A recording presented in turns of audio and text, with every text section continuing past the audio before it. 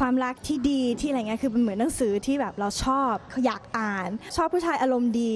แล้วก็แบบทำงานจริงจังเล่นก็เล่นทำงานก็ทำงานอะไรอย่างเงี้ยค่ะ